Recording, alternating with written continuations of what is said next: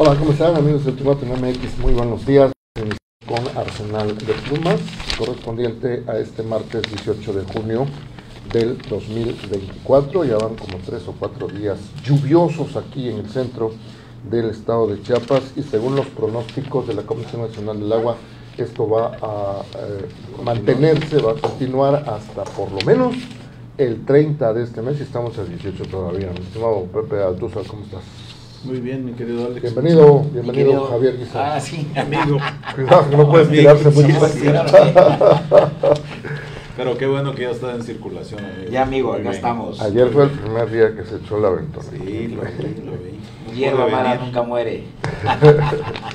Muy bien, pues sí, continúa fresco el clima, afortunadamente para los uh, tuxtecos que ya pedíamos a gritos que hubiera algo de frescura en este sentido, ¿verdad? Pero venía yo escuchando que allá por Tamaulipas, esos estados de esa parte del país están en alerta porque se está formando un ciclón que podría tener hasta categoría 5, les podría dar ahí, ¿no? Y ya están quejándose de que va a afectar los cultivos, que no sé qué, pues cuando, cuando hace falta lluvia La pedimos sequía. lluvia. y cuando hay lluvia y que va a afectar los cultivos, ya ni modo. Pues es Es el, ese es el desequilibrio que los humanos Así es. provocamos, porque antes yo me acuerdo que las temporadas de lluvia eran bastante extensas, el calor duraba lo que tenía que durar, pero ahora las cosas se han vuelto muy extremas. ¿no? Sí, O cambian. llueve mucho o hace mucho calor. Sí, y los periodos de lluvia son cortos e intensos, los periodos de sequía son largos, entonces es normal, eso es el resultado de la irresponsabilidad de los seres humanos, todos somos cómplices de esta, de esta inestabilidad en el medio ambiente, y sí va a importar parte de Veracruz, lo que es desde Sierra Azul, Naranjos, Tamaulipas y territorio norteamericano, Texas. Sí. Esa zona les va a pegar. Por esa dirección. Sí, bueno, sí, les va a pegar, ya lo está-. Están reportándose y quejándose, queridos paisanos comitecos, de la, de la lluvia, eh, las nuevas generaciones, porque los que vivimos hace ya algunos años ahí, sabemos muy bien que llovía ocho meses del año, permanentemente como amanece ahorita, así era. Chipeando, como Sí, decir. ahora ya no, entonces le están sorprendidos porque está lloviendo estos días, pero era permanente. Mira, pues, Ya Pues vamos. la deforestación. Y sigue siendo en la eterna primavera. creo que sí, ¿no? Sí, pues sí. Todavía está, eh, está muy, es muy Muy, agradable, muy húmedo. es, es húmedo, es fresco, húmedo. Sí, 28 es el máximo de temperatura promedio. ¿Qué pensás que estoy pensando? Y vamos a las cosas. A lo que te truje Checha. Pues, Pues- vamos a la columna de nuestro amigo Metza Mayor, director del periódico Tarot Político, Conclave, legisladores y legisladoras con Sheinbaum. Él está eh, anunciando pues que el día de hoy, martes, han sido convocados todos los legisladores este, federales electos, tanto diputados federales como senadores, y desde luego que eh, se, se, se cree que también los actuales, ¿verdad? Porque seguramente eh, van a tratar ahí con la doctora Sheinbaum, presidenta electa de eh, los Estados Unidos mexicanos, este, el asunto de las reformas que habrán de procesarse en el mes de septiembre y aquí da 383, 88 diputados federales. Más Eh, senadores, sí, lo que creo, pasa es todos. que los que se reeligieron, pues, Más 88. están vigentes y, y- y fueron reelectos. Más 88 eh, diputados. Van a continuar. Senadores, perdón. Ahí van a estar. Y aquí da los nombres, este, Ahmed Samayoa, de los um, 13 diputados este, locales, ¿verdad? Y los senadores, rapidísimos senadores, Pepe Cruz, Asil de León, Luis Armando Melgar, eh, eh, diputados, Distrito 1, Palenque, Carlos Morelos, 2, Bochil, Karina Margarita del Río Centeno, Distrito 3, Ocosinco, Alfredo Vázquez, Distrito 4, Cabecera Pichucalco, Joaquín Cebado Alba, 5, San Cristóbal, Emilio Ramón Ramírez Guzmán, 6, Cabecera Tuxtla, Flor de María Esponda, 7, Tonalá, Azucena Arreola, 8, Comitán, Roberto Albores Gleason, 9, Tuxtla, este, Memo Santiago, 10, Villaflores, Delia María González, 11, Margaritas, Rosario del Carmen Moreno, 12, Tapachula, Rosa Urbina y 13, Jorge Luis Villator. Son los, los chiapanecos diputados federales electos. ¿verdad? Pues eh, va a ser interesante, yo creo, por muchas razones, ¿verdad? Como es, a veces este, decimos que todo es distinto, cada eh, relevo de la presidencia es distinto, cada proceso electoral es distinto, y ahorita pues la doctora Sheinbaum se va a encontrar con algo distinto a los otros, por ejemplo, antes no había esta transición pues de un mes, que el presidente anterior conviviera con los nuevos. Nuevos diputados. Al contrario, ¿no? Entonces eran los diputados que tomaban protesta el 1 de septiembre, los nuevos, y esperaban al 1 de diciembre que tomara protesta el presidente, ya lo encontraban ahí. Eh, eh, de hecho, también la novedad es, mis estimados amigos, que en aquel entonces, eh, cuando llegaba el presidente, ya estaba el proyecto de presupuestos de egresos y la ley de ingresos para el siguiente año, y era armado ese ese presupuesto en la coordinación de los que estaban y los que venían, ¿verdad? Y del presidente saliente y el presidente entrante. Y ahorita les va a tocar a ellos, con los que va a platicar la doctora Claudia el día de hoy. También ese será seguramente un tema a tratar. ¿no? Muy bien, pues. ¿Y no leemos eh, de adivinanza? Ah, sí, es cierto. Está bien, difícil. A, ver, adivinen. Nombre del personaje político chiapaneco de alto nivel que dejó de lado sus responsabilidades encandilado por la candidatura a la diputación de su amiga, entrañable, pero aún más íntima. Diputación, yo diría federal, le pondría yo. Sí. Servidos. Servidos. Diputación federal. Hay que quede para la imaginación. Hay que quede, adivinanza. A ver, mi estimado Pepe Altúzar, tú le entras duro ahorita. No dejaste, no dejaste huecos sin llenar. sí, mira, es más, al, al, antes de, hacer mención de, de, la lista, ahí señalo, hagan sus apuestas, como aquello del desayuno. Del desayuno. Faltan nombres, sobre todo de mujeres destacadas en política y en la administración pública. Seguro habrá otra entrega incluyendo a otras mujeres y hombres reconocidos por su experiencia. Pues estas son figuras que, por años, ya, ya algunos eh, prácticamente al inicio de la carrera política del doctor Eduardo Ramírez Aguilar, cuando fue síndico del ayuntamiento en, en Comitán, eh, ya se ventilaban algunas eh, personas muy cercanas a él, algunos compañeros de generación, otros mucho más jóvenes, por ejemplo, quien es una de las personas muy cercanas a él, llamado Fernando Bermúdez Velasco, colaborador de hace años atrás como secretario particular en los diferentes cargos del gobernador electo. Es una persona joven, eh, pero sí con muchas tablas, mucha habilidad política, joven, y este, bueno, inició muy, muy chavito, como decimos, y ya ahorita, pues ya con la madurez que tiene, pues ahí sigue vigente con la confianza del próximo gobernador. Eh, Luis Ignacio Ventaño Bermúdez, expresidente municipal de Comitán, exdiputado federal. Eh, el doctor Osvaldo Chacón Rojas, nuestro amigo también este, eh, académico y entre otras importantes responsabilidades en la administración pública, expresidente del Instituto de Elecciones y Participación Ciudadana. ahí aparece también Aquiles Espinosa García, Juan Carlos Cademayor Franco, eh, Juan Carlos Gómez Aranda, conocido por nosotros, coordinador de los diálogos por la información, exsecretario de gobierno, es diputado federal, con amplia experiencia y formación profesional, goza del estima y reconocimiento del gobernador electo. Entonces, ahí podemos mencionar varios, varios nombres, entre también ellas las mujeres, Patricia Conde, Magdalena Zabar, Santino, que han estado eh, colaborando en muchas tareas que les han encomendado el propio doctor Eduardo Ramírez Aguilar. Entonces, eh, figuran, pero sí con esta observación de que por supuesto que esa, ese listado o esa lista se va, se va a incrementar. Y que sí es, eh, lo hemos vivido, lo hemos conocido por varios periodos de gobierno, eh, representa para cada gobernador un dilema, la integración del equipo de trabajo, representa la decisión de que quienes se consideran elegidos y por alguna razón no no sean tomados en cuenta, inclusive algunos ya con cargos de elección popular terminan incorporándose al, equipo administrativo.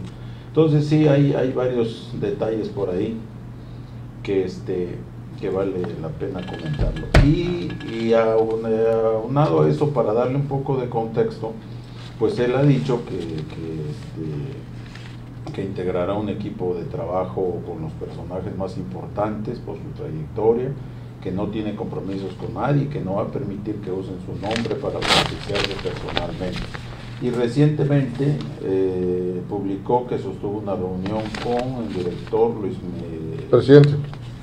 Con el doctor Luis Miguel Martínez, presidente correcto del Instituto Nacional de Administración Pública, para establecer la metodología de la nueva Administración Pública de Chiapas, que entrará el próximo 8 de diciembre, donde el profesionalismo de las y los servidores públicos será fundamental para la construcción de la nueva era. Ellas y ellos deberán no solo tener conocimiento, sino también compromiso social y sobre todo caminar en un solo objetivo que es trabajar en la transformación de nuestro Estado.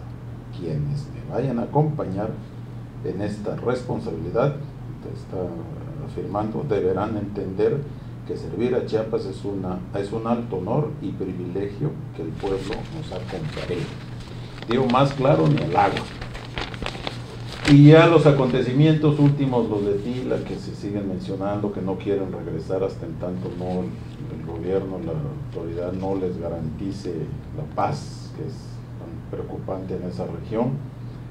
Eh, piden voluntad política del gobierno, y luego este, el tema que mencionó la señora secretaria de Relaciones Exteriores, Alicia Bárcena, fíjate, algo que, que, está viendo ya trabajando, el tema de la frontera sur con el, la cuestión de migrantes, que es la verdad muy triste ver en todas las calles, los cruceros de, la, de las ciudades de Chiapas, prácticamente todas, antes era Tapachula y la municipios de la frontera, ahora prácticamente en todo el estado.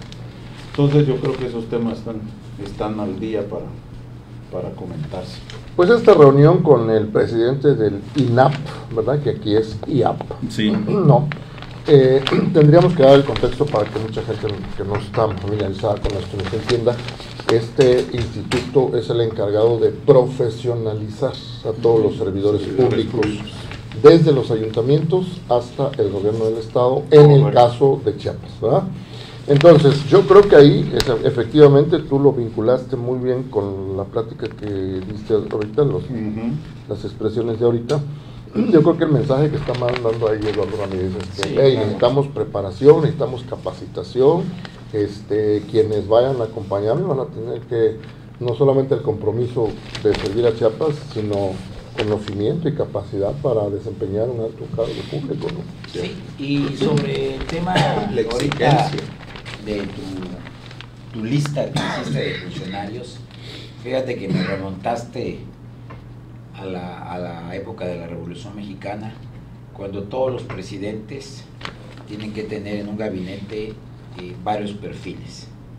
Y me recordó al santuario del norte, a Doroteo Orán, porque es el nombre de Pancho Villa, que en, su estructura política militar, este, Pancho Villa, que no era un hombre eh, de letras, de hecho era un analfabeta, primero fue un delincuente, luego se incorporó a la revolución y siempre fue un desarmado, tenía dos personajes importantes. Yo pensando en lo que viene la Fiscalía, la Secretaría General de Gobierno, puestos claves.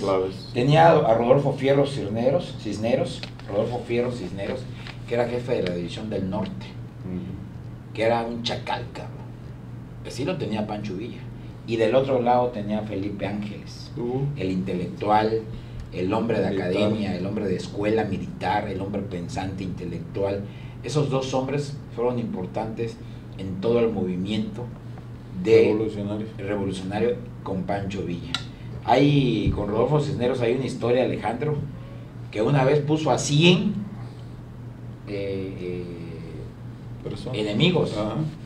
Hasta se le engarrotó el dedo de ir ejecutando uno por uno en la Revolución Mexicana. A 100, así, pum, pum, pum, pum. Ese era el, chacal. Pero del otro lado Tenía buen estaba, muy apropiado. Del otro lado estaba un hombre que el presidente Andrés Manuel admira, y de hecho así se llama un aeropuerto, Felipe. el, que hizo él. Que era un hombre íntero, académico, de escuela, intelectual y, eso me queda claro que en todos los gobiernos tienes que tener todo tipo de gente y todo tipo de perfiles.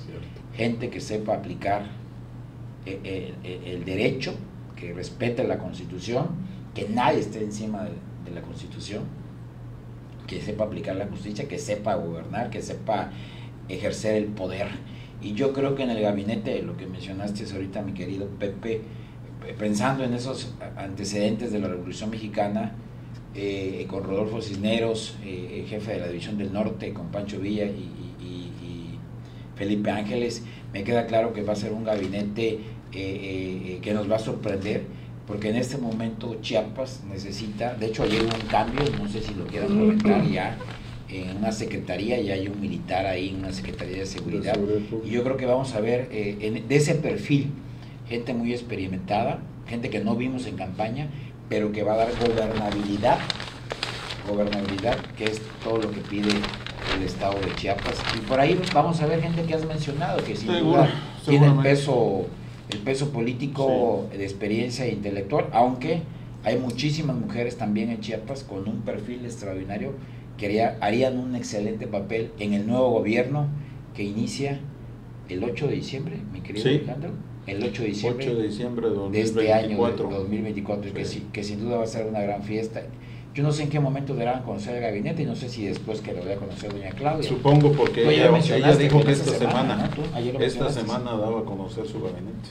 Sí, ya sea esta semana o a principios de la otra, pero pues no, no se rige una cosa con la otra. El gobernador, gobernador podría esperar 10 días antes de tomar protesta. Ha habido quienes lo hacen en 24 horas Así es. para mantenerlos en la expectativa. pero han sido, toma de protesta. Pero han sido otros tiempos.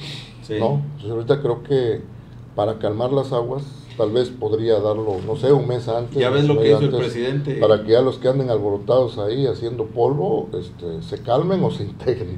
El, el, el, presidente lo dio a conocer meses antes, pues, en un, sí, ya andaba en campaña, creo. Lo mencionó y los puso a trabajar.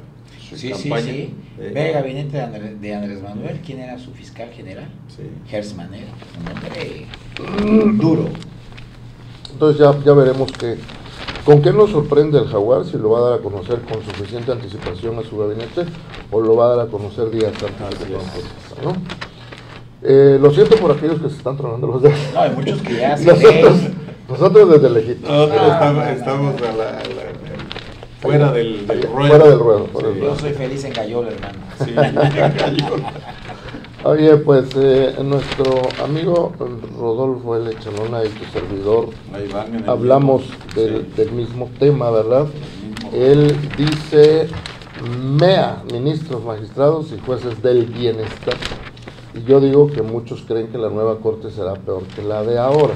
¿Por qué digo esto? Porque pues eh, eh, estoy insistiendo en que el punto no es la reforma al Poder Judicial, ¿no? Como decía Javier, en algunos casos no en los casos, la mayoría de los casos los presidentes nuevos quieren hacer reformas, sobre todo que tengan su sello personal, pero no en este caso, ¿no?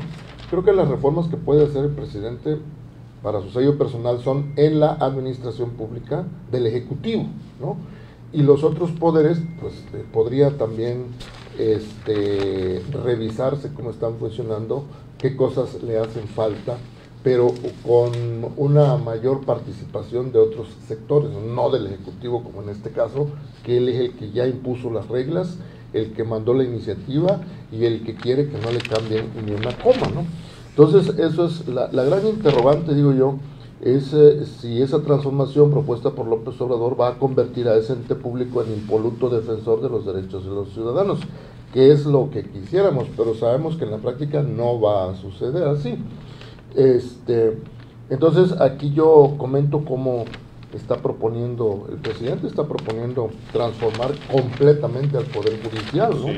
Eh, principalmente, creo que lo que más le va a afectar a la Suprema Corte es la elección de sus magistrados, de sus ministros y de sus jueces por vía directa, ¿no?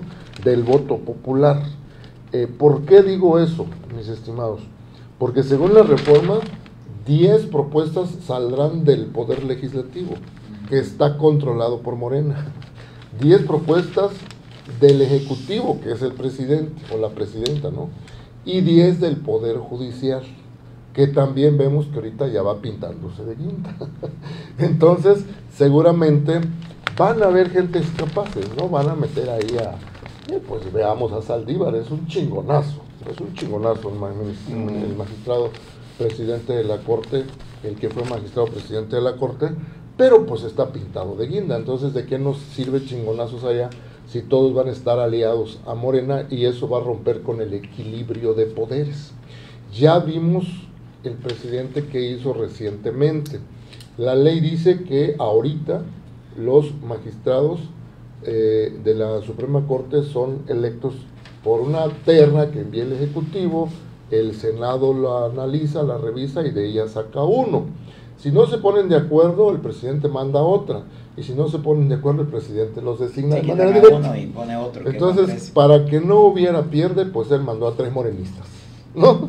Eran morenistas declarados. Bueno, pues cualquiera que Pues quedara. lo mismo habían sido los priistas y los panistas. No lo hicieron, hicieron. nunca lo hicieron así. Uh, De manera descarada no, te lo puedo probar. los De panistas. manera, des- los periodistas no.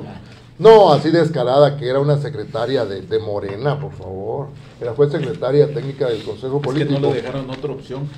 Recordemos, mi querido Alex Javier, que esta reforma fue planteada desde el inicio del gobierno del presidente actual. Pero ¿en qué cambia lo que estamos pero- hablando? Pero eh, no, no cambia. Quiero decir que no se permitieron por cuestiones políticas. O sea, no se dieron. Bueno, finalmente se va a dar a estas alturas. No, no lo pudieron hacer porque no tenían mayoría Así calificada. es, por Así eso, por, eso, por cuestiones políticas internas, como se dieron.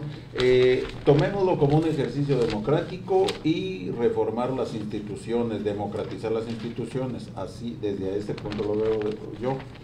Aquí lo precisas eh, muy claro lo que hace un momento decías.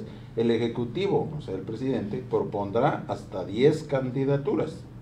El legislativo propondrá hasta 5 candidaturas por cada cámara, o sea, son 10. Son 10. El Poder Judicial propondrá hasta 10 candidaturas a través del Pleno de la Suprema Corte, hasta cierto punto equilibrado.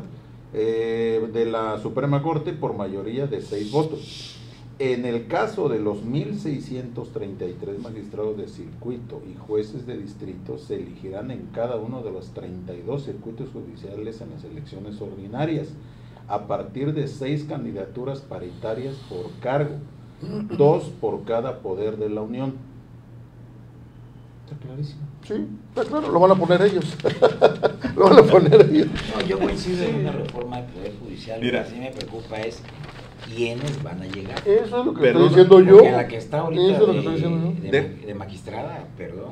Déjame decir- de resbalón, de un desconocimiento total sobre la Constitución y, y- y- y su aplicación, que, que la, la están evidenciando que fue un error, un, un re- un resbale total eh, eh, eh, del presidente. Yo entiendo que el presidente, como lo han hecho todos, pone a la gente de su confianza o de los o de O del grupo o del político. grupo político que tiene presencia y que llegan a un acuerdo con el presidente. Yo lo entiendo, pasa en todas partes, pero sí que llegue por lo menos gente calificada. Porque tú no te subes a un avión por un piloto que te diga, nomás tienes cinco horas de vuelo. Sí, claro. Eso. subir con un tipo Sí, experimentado. que garantice independencia y Sí, autonomía. sí, Hasta claro. este momento había funcionado más o menos bien. Claro, habían casos muy específicos, creo que de gobernabilidad. ¿Te acuerdas que este cuando llegó Peña Nieto eh, liberaron inmediatamente a Florence Cassés? Sí, que le estaba provocando un problema Conflicto diplomático, con diplomático. Francia. Y bueno, pues había muchas dudas de su detención también, ¿verdad? Entonces, y, y ahí la Corte pues tuvo que este, emitir una, sí, una resolución que la liberó. Bueno, y, y creo Que eso, Corte- que eso el Ejecutivo ha de haber dicho, ayúdenme con esto, hay una sí, bronca. claro.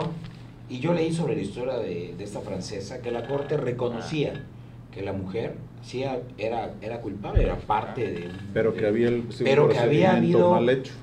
Un Procedimiento un viciado. procedimiento Viciado. viciado, violando sus Sí, derechos humanos, así dice. todo un teatro Viciado pa- de para detenerla, que prácticamente esos fueron los elementos para dejarla libre. Sí. Bueno, en conclusión, lo que yo digo, pues, es lo que preocupa. No estoy diciendo que Quería vaya a leerle- suceder. Y leerles el todo mundo Y todo mundo sabe, mis estimados amigos, digo, no seamos ingenuos. Ya lo hicieron en Venezuela, ya lo hicieron en Nicaragua, ya lo han hecho en otros lados en donde el Ejecutivo toma el control de todo. ¿Y qué está pasando en esos países? Es el temor que tenemos. Digo, Pero México ojalá. es otro, México es ah, otro, sí, pues sí. No va a pasar, es, Bueno, es imposible. pues, México. si No, quieres, sí, lo. Instituciones. Sí es necesario. Pues una de sus instituciones es esa. No, Eh, eh, aquí en esta mesa de Poder tres, o en, esta, en este espacio de tres, hay contrapesos. En muchos temas no coincidimos y en otros sí. Claro. Y, y, sin, y, sin embargo, a pesar de, el, eh, el análisis se hace. Yo creo en los contrapesos, sí me preocupa. Venimos de un constituyente de 1856 y se promulga en 1857, que es la constitución que nos rige, y luego la de 2017. Sí me preocupa qué pueda pasar con la constitución. O sea, todos los presidentes le han metido mano a la, a la constitución, por supuesto. Ya tiene no sé cuántas reformas, no recuerdo Por ahorita. eso, pero no en ese grado. Ahora, Pero, No en ese grado. pero no estamos, estamos hablando ya del gobierno que termina. Doña doctora Claudia Simón es. yo, yo confío en su prudencia de la Sí, doctora, espero mira. no equivocarme. Pues claro que va a querer, lo que quiere un presidente es tener bajo su leer. control todo, ¿no? Déjenme leerles eh, lo que dice. Con las diversas encuestas de opinión pública presentadas hoy por la virtual presidenta electa, la doctora Claudia Simón Pardo, se confirma la necesidad de reformar al Poder Judicial. En el Congreso de la Unión actuaremos con congruencia y total apego al mandato del pueblo de México. Ricardo Monreal, senador. Ah, Yo sí. creo que es Pero que si tiene no que es- haber prudencia. Pero si no es un dios este Pero otro. tiene que haber Este otro es prudencia. un convenenciero. Y esas encuestas que dicen fueron manipuladas. ¿Cómo van a creer que la gente sabe eso, hombre? ¿Cuántas No, fueron? o sea, ¿1200? Se cuenta. es- es- O sea, amigo, para la elección, amigo, digo, en la feria de mi pueblo sí, 1200 boletas. Es un tema serio. Ya lo dijo Como- pero como una muestra. Eso no lo 1200. fue, aunque lo diga Monreal. No, ¿no? Monreal ya dio cuenta que es un convenenciero. Mira, no, esas encuestas son de patito, como las que hicieron cuando tiraron el aeropuerto, la hizo Andrés Manuel. Eh, no nos mostraron el, el procedimiento que hicieron, ¿verdad? El puerto de Texcoco, sí. fue, fue, fue nada más para justificar su deseo y ahorita es para justificar su deseo, la verdad, Eh, en serio, no, no. Eso debió hacerse con gente que sabe. Voy a preguntar a la gente que le conteste un teléfono, oiga, este, usted quiere que sus magistrados, ni saben quién es su magistrado, ni saben qué hace, la verdad, en, en honor a la, a Y la con esa cantidad de, de electores que hubo en la reciente elección, pues van a decir que sí, la mayoría. este, ya para terminar, mi estimado Alex, porque ya estamos en el tiempo, tú estás conduciendo, pero recuerdo que tenemos que mencionar a nuestro amigo Héctor Estrada. Ujú. En la mira siguen pendientes 200 millones de pesos para trabajadores del COVACH. ¿Por qué el colegio de bachilleres en Chiapas Está en paro, presenta- están en paro, ¿ah? sí. presenta tantos problemas? Lo Pero pensó- ¿cuánto tiempo Lo, pasó con de Manuel. Velasco, lo pasó con Juan Sabines. Sí. Luego con Manuel Velasco. Y también con ese gobierno tuvieron detalles. Cuando estuvo la doctora Nancy Hernández, llega este señor, hubieron cambios en el COBAS, no procedió más, no, no entiendo, pero se sabían que habían actos de corrupción. Y ahorita otra vez, no sé eh, si tiene mala suerte el colegio de bachilleres de quienes los dirige. Pero a partir de Sabines, como bien lo dijiste, antes, no, antes era, era de veras una institución de renombre. Así es, todo el mundo quería estudiar ahí. Claro, Su gran ingresar crecimiento- inclusive era un problema. Que era un problema. Su gran crecimiento del COBAS lo tuvo con Edgar de León Gallegos, ¿te Así acuerdas? es, cómo no. En la época creo que era gobernador José Patrocinio. Patrocinio, al inicio de Sí, Patrocinio. Patrocinio Edgar de León Gallegos. Al antecito de patrocinio, este, el general Castellanos, Todavía ya al con, principio de... con Jorge Luis Lara Aguilar, cuando era gobernador Pablo, las cosas iban eh, eh, interesantes en el COBAS. Digo, no Es que empezaron a manosear, Sí, Pero llegó improvisadas. de- Hasta, hasta que lo vieron como caja chica. Caja chica. Y es que el presupuesto, como es un órgano descentralizado que viene del gobierno federal, lo único que hace el gobernador es poner a quien se encargue, pues ser su cuate, su compadre, su amigo. Y es una lanota, es el, es el centro de educación superior con más lana. ¿eh? 338 planteles es grave paralizados y están afectando a más de 90 mil estudiantes. ¿Qué Eso son? es grave. todavía más ¿Qué grave. son 200 millones de pesos para un presupuesto casi de 98 No, mil millones de pesos que tiene Chiapas? Yo no lo entiendo. Pero en fin, Cierto. Invitamos a que lean pues a Héctor Estrada también. Y pues gracias. Nos vemos. Muchas gracias. Atuzar, Javier audiencia, gracias. Buen día.